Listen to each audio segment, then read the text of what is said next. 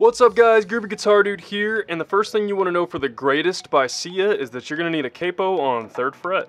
The next thing you're going to want to know is the four chords we're going to need for this song. The first one is going to be A minor, the next one's going to be C, the next one's going to be G, and the last one is going to be F. Next you're going to want to know the strum pattern. Now for most of the song, actually just a simple single down strum is going to work, but if you want to get a little bit more complex with it, especially in the parts where it gets a little bigger, the big choruses and um, the bridge, stuff like that, you can use a down, down, up, and then up, down. So that'll sound about like this.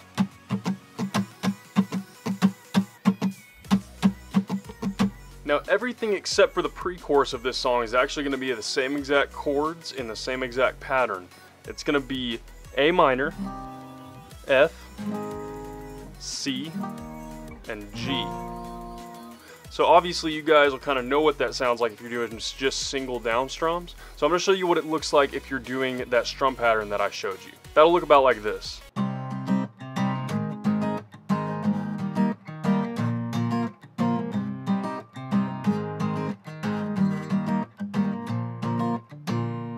Now, like I said, the only different part of this song that changes from that chord progression is going to be the pre-choruses. What the pre-choruses are going to look like is going to be F, C, G, and A minor. So you can either use your single down strums for that, or you can do that, uh, that strum pattern that I was telling you guys about. So I'm just going to show you with the strum pattern, because obviously single down strums, you guys got this. But with the strum pattern, that's going to sound about like this.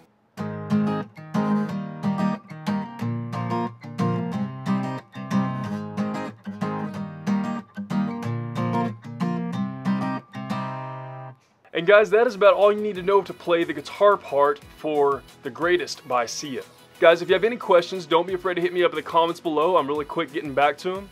And if you liked this video, hit that subscribe button. I make a lot of videos like this one where it's like songs that may not have guitar in them or rap songs or pop songs that don't actually have guitar parts and then I make guitar parts for them that fit with the song. So if that's your thing, hit that subscribe button so you can see more videos like this one. Guys, I hope you all have a wonderful night, and I will see y'all very soon.